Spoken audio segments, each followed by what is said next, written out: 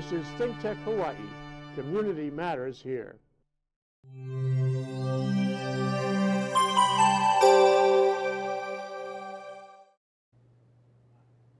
Hello, everyone, and welcome to ThinkTech Hawaii. I am the host of today's program, DeSoto Brown, and instead of our normal human humane architecture, this week we are on an alternate schedule, and we're hosting people from the Docomomo Group. And the Docomomo Group is a group of people who support and want to preserve mid-century architecture, that is mid-20th century architecture.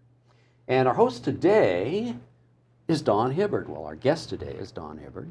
And we've got a very interesting subject to talk about. Something which is all over the place, something which most people don't even give a thought to, was very common at one time, but not so common now. It's the jalousie window. We're going to be talking about what the heck the jealousy window is, and you can see in the photograph behind us, underneath the plate glass windows of that suburban house, those are wooden jealousy windows. Tell us what the history is. Let's get started with the history of what the jealousy window is. Don, Okay. take it away. Well, I, I guess I'll start with the name. That's fine. and uh, the name actually comes from the French, and there were louvered windows back as far as the 1600s, and the French called them jaloux. And if we have another slide, I'll show you why. oh, okay. All right. Well, let's go to our first slide. There we are. And this is actually interior shutters, but it shows the thing very well. The jaloux, you can open and shut, and they're slanted in. And if you're on the outside, you cannot see in. Right. But when you're on the inside, you can see out. And the French felt this caused a jealousy situation. And there we are. The so- world is full of jealous people. Right. And so it was called jaloux. All right. And when the man invented the window, the term jaloux was very popular in New Orleans. And so he just picked it up and used it. And jealousy is what it's can- ended up being called. Yes. That's right. That's right. So that's where I thought would start. Okay, Um, Now, what's next? well, let's. Do you want to go to? There's yes, our next slide. Yes, I, I just wanted to show you uh, more. This is an Iolani Palace. Correct. And uh, again, internal shutters. Right. And if you take the next slide, you can see it operates on a center Correct. Uh, Bar bar. that you And, can uh, pivot up and down. Right, exactly. And uh, this man, Van Ellis Huff, who was an engineer, That's right. got his degree from the University of Florida.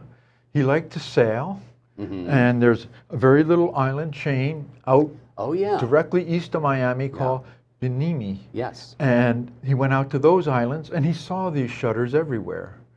And then he said, I can do this better. Okay. Well, let me Mm-hmm. just show everybody right in front of me. If we can go to a shot of me here, uh, this is his book. yes. And his book, which you bought online, and it's called From Mountains to Miami A Search for Greener Pastures. It's actually this man's life story, but he talks about, as you said, Yes. inventing the jealousy Right, window. and the whole development, There we where it are. came from. All right. And so he had a very interesting life. At the time when he invented the window, uh, it was during the Depression. It was 1937. He applied for the patent, and he got it in 1939.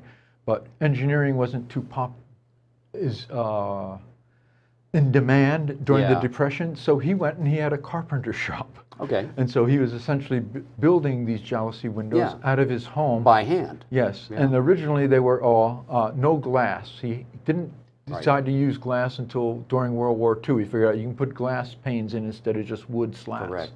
And so uh, he was making them there. Right. And what we can say is that the, the, the basic shutter concept is the same. However, Right. the jalousie window uses considerably larger slats rather than the small ones that we see in these old-fashioned ones. And, and this is a technology that goes back centuries, as you said, the movable slats. Right. So in one way, it's not totally new, but the application of it and the size of it is new. Right. And Right. essentially the mechanism for operating Correct. it, Is different, and is it different. makes it more efficient rather than having to just fiddle with that middle stick. Right. Okay, what's Yes. next? Oh, so he's There doing this. go. Some architects in Florida are starting to pick up and using Yeah. it. Then the Navy hires him in 1940 to put jalousies in all of their housing down at Guantanamo Bay. In Cuba. Yes. And this is a picture of and that. that's the picture of that development. And on the next picture, Right. we'll and show There it is in the 1950s. Right, and essentially at this point, he had to take his operations out of the garage Right. because it was a giant Correct. commission. So he uh, then uh, opened up a factory which had, I thought, the very interesting name of Protect You Jealousy Company. I don't know how much protection Yes, those give but- you, but that, that was a that's a clever word. Well, Mm-hmm. one other thing, and then you just said too that uh, when we were discussing beforehand, if we go to the next slide, one of the things that he did in later years was to further install more of his windows in other Navy facilities. Correct. Right in after, right after World War II, he went to California, and the, the Navy gave him another giant contract Mm-hmm. to put them in in Philippines, in Guam, Johnston Island, in in Hawaii, Right. in their facilities. Right. So this is a picture of um, bachelor officers' quarters for the Navy on Guam in 1957. So it's later than what we were talking about just before this. But if we go to the next picture, we'll see that this is an unusual application in that these are metal shutters. Correct. And this is the only picture I found of metal Right. shutters. But uh, again, it's the same. It's the same format, same thing as what you were just talking about. Right. And then we'll go on from there. So our So- next picture. Oh, Ah, this yes. is in during the 50s, right after the war. Not only was it in Hawaii in the Yeah. Pacific, but also Florida started having it, and Right. also, well, we'll go, California also started to use jalousies. Right, and this is a, a, a design by a man named Paul Rudolph, who was an architect who worked in Florida in the late 40s into the 1950s. And if we go to the next picture, that's of course an architectural rendering. This is a picture of the actual construction of that building, the Cocoon House it was called. And we agreed that our friend Martin Despang would Yes. love this. It's totally easy breezy because it's got the jalousies on one wall, but the other wall appears to just be screen. Doesn't even look like there's anything No, there. it doesn't. yeah. But I presume it's screen. But that's pretty much the ultimate easy breezy type of home you could have. Yes, exactly. Yeah. Ultimate use of the jalousie. Exactly. So our next picture takes us to another use. Yes, What's this? Very much in the 50s, mobile homes picked up on them and started using them. And this is a 1955 mobile home, very much a vintage classic now, but Yeah. it still has its original jalousie windows. And it's turquoise and pink. If Yes. that's about, about about as 50s a color combination as you can get. Okay, let's go next. And there we And- go. Yes, when he was in Hawaii working for the Navy here, other people became interested in a man named T. Hao Ho, who was the proprietor of Surf Rider Sportswear, Mhm. was very much enchanted by this and thought that this would be a good market. And he opens up a business in Hawaii selling, uh, it's called Pacific Jalousie Company. And this is the 1949 40th, 9th 49th State Fair Yes. and they had a display in the fair, and uh, this was, appeared in Pacific Paradise of the Pacific magazine, and they mentioned that this is a new development in ventilation. Right. so this is this is at that time. This is a, a, a new concept. Yes, 1949. Right. It's just coming to Hawaii, Right. and so it, and it's just going to be put on the market. And Ho will put them in his house in Kaneohe, which I'm fortunately I've yet to find. Mhm. I don't know if it still exists, but that would be the first use of uh, the jalousie in a Right. house, Right. residential use, which then became all over the place. Absolutely. That's what we were talking proliferated. about. Proliferated. Absolutely. And also, uh, much to Mr. Huff's disappointment, Correct. the jealousy was very, very easy to make and copy. Right. And therefore, people infringed on his patent Yeah. right and left. Right. And he did not have money to uh, to fight them. Yes, exactly. And so essentially, he gave up. And in Correct. 1955 or six, he just quit. He didn't make any more. Right. And at that point, probably there were innumerable other Yes. manufacturers of them. Yes, and what he was very bemoaned quite a bit was that most of them made them cheaper than him because he used all crank handles, and his crank handle mechanisms all were made of brass. And that's something that is, we just were just discussing. Let's go to the next Yes. picture because we're going to be discussing the different formats. Now, Mm-hmm. this is a very basic concept, but once you look around, you see there are many different types. Exactly. And you said this is what, 1954? 1954 in Waialae Kahala, and I, I think this could be one of his because this was a handle that can come in and out Exactly. and into a little hole. And I, Right. I and this well, it's the whole house still has these, and they all operate perfectly. So I Right. suspect that these are brass fixtures. Correct. And uh, so I suspect this might be one of the earlier uses of, of And my parents' windows. house has those cranks for pivoting windows. Okay, yes, And yes. same same time Yes, period. Exactly. Right. So And that's, we'll also point out too that there are different types of glass. And we'll be seeing other types of glass, Right. but this is a very clear example of the fluted glass, as you said, that's got these horizontal yes, stripes. and so it was more for privacy when you closed it. Correct. Okay, next. So, what, what you were just saying and Mm-hmm. what we're about to see is that there are these different mechanisms that different manufacturers Correctly. use. And part of the problem is that they began to use cheaper materials, which Correct. eventually wear out. Right. At the time, nobody gave it a great deal of thought, but 50 or 60 years later, which is where we are now, when those gradually fall apart, it can be a problem to get them fixed, replaced, whatever. Yes, exactly. This one is in uh, Manoa. This is at a Salvation Army. Right. Oh, One and he of their said buildings. 1955. Yes. Right. And so and that's a crank. Yeah, that's a different crank, but it's a different style It's a crank. different and now the crank. mechanism is all built in as one. Correct. With the crank. That's higher quality than what I have in my house, Yes. but let's keep going. Okay. And here's another one, and this is from the 1960s, early 60s, and again, uh, this is not as good quality, and uh, and it's different style. But, but you'll also notice too that it's in a concrete block wall, Right. linoleum floor. This is very typical of the time period. And that's Right. something that I think people also need to keep in mind. Inexpensive homes, inexpensive construction was very prevalent during that time. Mhm. It enabled a lot of people to buy a home, but the maintenance of it can be difficult. And the other thing that's very different, which we'll get to in a minute, is the expectations people have now versus the expectations of what people had then in terms of the quality of their home and the ventilation in particular. Precisely. Yes. Oh, let's keep going. And This is another version of another crank. Uh, this one I'm not sure. This might be one that wore out, and they found a replacement a new one. That's that's. And And, so- you were saying that there are modern ones being made today that are plastic. Right. And we were talking about- primarily lever ones. Right, lever ones, but again, once that breaks, Yes. forget it. Yes. Right. Okay, next. So, And, and here's an interesting one. This is uh, this is actually in public housing for senior Hmm. citizens. Uh, uh, Makua Ali'i uh, on Kalakaua Avenue. I was going to say, Yes. yeah. So that's actually not that old. This is what late 70s, early Uh, 80s. no, it was 60s. Oh, is that okay? Yeah, it's a different one than I'm thinking of. Yeah, and yeah, yeah, they rebuilt a correct. part they of it. red- yeah, which had been Kalakaua homes. Right, Yeah, right, That's what I was thinking of. And this, but this, uh, again, it's a rather interesting uh, handle, which I hadn't seen anywhere else before. Yeah, and those are kind of a pain to use, particularly Yeah. Mm-hmm. if you're an old person trying to crank that thing. Okay, next.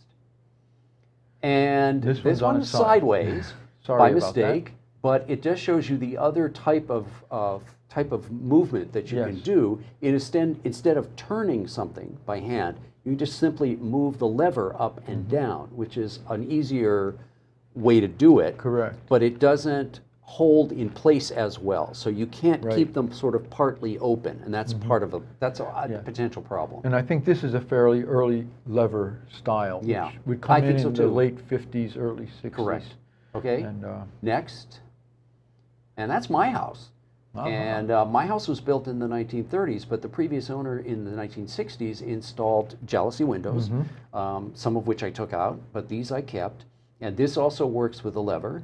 And unfortunately, as I was just saying, as these things get older, they're made of aluminum or they're made of pot metal, they don't last that well. So I have to do this, I, I treat these gently because if they break, I don't think that they can be easily replaced. no, and this one too, you may notice that uh, this kind of glass is called opalescent glass, or Right. not opalescent, excuse me, obscure glass. Obscure glass, and that's that's Yes. another. This is this is in the bathroom, so they, they put it in that for in the bathroom for that reason. It's got a pebble texture, Right, exactly. instead of clear glass. Okay, next. And This is another uh, senior citizen housing, and this I found this lever to be a very interesting style of lever. do you just push it up and Yeah, pull it down? exactly. Within that semicircle. Yes. Okay, So because I wasn't quite clear. Yeah, Yeah. no, it's quite an interesting. I, I haven't seen that anywhere else No, either. and, no, uh, that's why I wasn't even sure what it was. Yeah. Right, right. Okay, next. And, then here's, a different type. Yes, here's another bathroom, and this this is the most common found lever. I think the next picture will show it. Yeah. Next picture. Yeah, there we and, are. And you can see, you can just see it's this this the, the handle that's most typically sound, found now, and I think this is.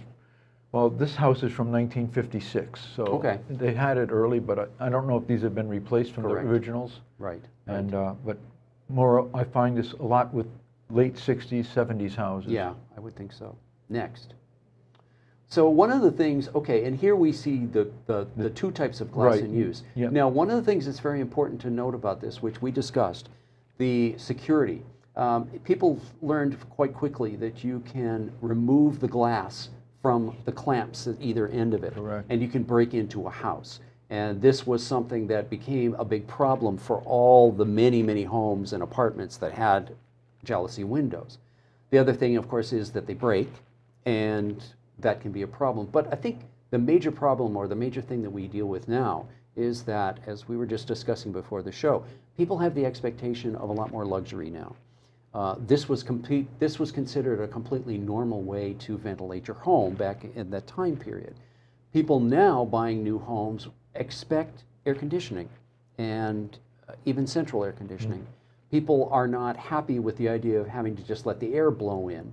And the problem is that that uses fossil fuel. That's more expensive. It means that we have to bring that fuel in. We have to run electricity to do it, et cetera. So um, I've learned from Martin that uh, the more natural ventilation you use, the less fuel you use is a good thing. This is fuel-free ventilation, and it would behoove us to be more conscious of those that at, that attribute today. And at the time when it was at most popular in the 50s, 60s, 70s, this was the stand. This was the most efficient way to ventilate your house. Oh, absolutely. And uh, so it was actually considered. Oh, this is new technology. Yeah, This is this yes. is actually advanced living. That's right. And uh, rather than thinking now, oh, where's the AC? Exactly. No, that, and that's the point. This was a technological advance. And the other thing about jalousies is the reason they would have been used in uh, mobile homes is they don't take any space. You don't have to have space for a window to be pushed to the side. Right. You don't have to have a space for a full fixed pane window to pivot out, to pivot upward or down. It's just contained within the wall, right as part of the unit of the um, window Correct. and that's and they're lightweight too Yes. because the metal is lightweight so particularly for a mobile home that's a positive attribute and for builders et cetera, these also are useful it's just that again as we said we have the expectation of a more luxurious lifestyle now to which in which these don't fit that well Unfortunately. unfortunately let's go to our next slide and here's a different usage Yes, this is a, a variation. Yeah. Uh, this is on a house in Lanikai. The house was actually in the 1920s, but they enclosed the uh, lanai in Yeah. the 50s. right And this, they, instead of regular horizontal uh, jalousies, they mounted them vertically. right And this is actually run on a chain, and so the chain opens and closes Oh. it. Okay, I know what you mean, like a metal chain. Yes. And it goes e- over a little little Yeah, wheel. Right, and Right. that'll opening that operates the uh, Yeah. window. And tho- so these are wood, and the interesting Right. thing there is that wood is very private, but it also cuts out all the light. Exactly. Too, You don't get the view unless it's open. unless it's open. So there are positive attributes to Mm-hmm. wood jealousies, but not 100% like glass. And I noticed that uh, the Department of Education, they'll use jalousies in almost all their classrooms, but they're using wood as well. And I think that's to Oh. discourage the children from, From looking, looking out. outside and being distracted during Yes. yeah that was one of my problems back in the day i can remember yeah okay. Well in the next picture we see a similar usage of the vertical wooden louvers or the vertical wooden jalousies. This however is at the Coco Palms hotel in the king's cottages. Now the king's cottages were separate freestanding structures and they were the most expensive rooms at the Coco Palms hotel. This is called the Blue Hawaii Suite, or perhaps it might even been been the entire Blue Hawaii building. And the reason it's called that is because Elvis Presley filmed uh, a good section of the, his film, 1961's Blue Hawaii, at the Coco Palms. Now, the thing that I think is interesting is that if you look on the left, there are those, that's the original use of the slats, the wooden slats, in what obviously was an accordion fold door. So, because there's probably not a lot of, I don't know how easily it was, how easy it was to move those vertical wooden louvers. If you couldn't, then you would have closed that accordion door with those old-fashioned slats Correct. for more privacy. So it seems kind of like a complicated way to do it, but as long as the customers liked it, who cares? Yes, Yeah. exactly. And you'll notice those blue touches in the uh, the pillows and the uh, lampshade. That's because this is the blue, Hawaii, and the blue carpet, the blue shag carpet on the floor is very very beautiful. Okay, next picture. This, okay, here we are back to the wooden slats. Yes, and this is in your haunt. This is in my haunt at Bishop Museum where I work. This is the Pauahi Building. The Pauahi Building is a collection building. It was built in 1964, and actually, originally, all the windows in the building were jalousies. Now, these are in the bathroom, so they have solid wooden slats for privacy, and there's, you can see also the handle. Made sure to take a picture of the handle because we were going to include that in the show. But the rest of the building has glass jalousies. Uh, they are shielded on the outside by a decorative concrete uh, grill. right. But the problem for Pauahi Hall is that, just as we were saying, originally that was all natural ventilation. Well, that's nice for keeping things cool, but for collections in a museum, you do want to be able to shut the world out and to keep bugs out. So it's been necessary to add central air conditioning to this building and to close all the jalousies pretty much permanently. Well, next picture. And we've got, okay, this is, okay, this is something that I think is particularly interesting. Here are tract houses, and this is on Kalani Iki Street in about 1961. So this is right by Kalani High School. And if you'll notice, this is the type of thing which many, many tract houses used in Hawaii at this time period. There are fixed plate glass windows, but along the bottom, we've got a row of wooden jalousie windows. Correct. And that is the, again, this is what people were happy with at the time. This is what people expected for ventilation. People didn't have air conditioners.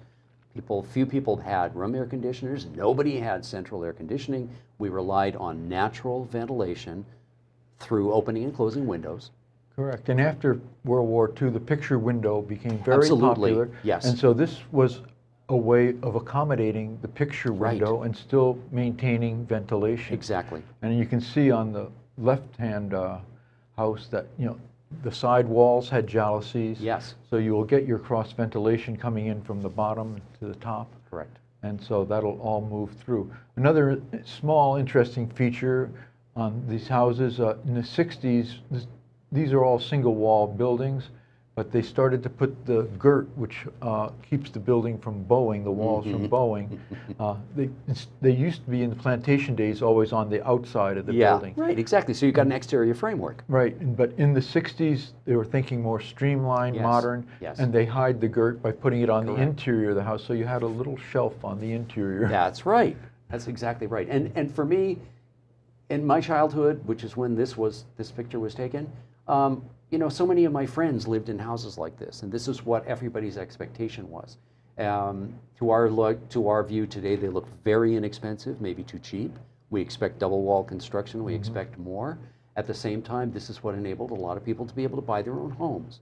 And I think you and I are probably going to be doing some more shows this year Right. about this entire phenomenon of suburban life, suburban development, tract homes, et cetera, here in the Hawaiian Islands. Exactly. Yeah, so that's something that we'll be going to be doing in the future. I think it's just about time for us to wrap this show up. I think we covered the field well. I think we covered the field well. And Don, thank you so much for coming in and um, talking about this. Again, this is something that seems incredibly prosaic and everyday, but as time passes, these things go away. We begin to appreciate them, look back at them, and be interested in them. And one of the whole purposes of Docomomo is the preservation. So we want to preserve houses Right. that have these. Exactly, very much. And uh, interested in anybody that has a different kind of jealousy, Oh yeah. let us know. Let us know. We'll find out another, yet another strange world of the jealousy window. Exactly. The fascinating and exciting world of the jealousy window. Well, thank you all for being with us uh, today and watching this particular program. Uh, we'll be back next week with one of our regular Human Humane Architecture programs. Martin Despang will be joining us all the way from Germany, and we're going to be talking about the West Oahu College campus that time. So we want you to keep we want you to keep watching Think Tech. We want you to keep watching the various shows, and I will be seeing you in the future, and uh, Don will be back as well. So until then, thank you everybody for watching. See you next time. Yes.